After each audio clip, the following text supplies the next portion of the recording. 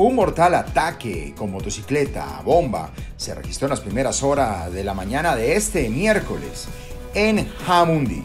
Otro ataque terrorista Pocos minutos después de que fuera hostigada la estación de policía del corregimiento de Potrerito, fue activada una motobomba en pleno centro de la localidad.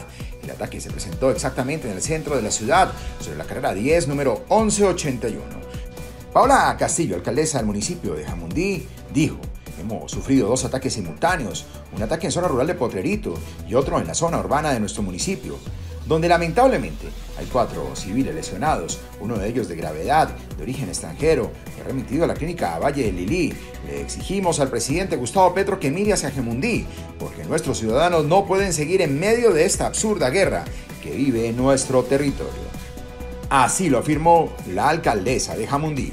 En el hecho de la motocicleta bomba que detonó cerca al parque principal y diagonal a Bancolombia, dejó como resultado varios heridos, incluyendo un sargento y una patrullera, se encontraban de patrullaje por el sector en el momento de la explosión. Las autoridades piden karma a la comunidad, permanecer en sus hogares y seguir las indicaciones de los entes gubernamentales.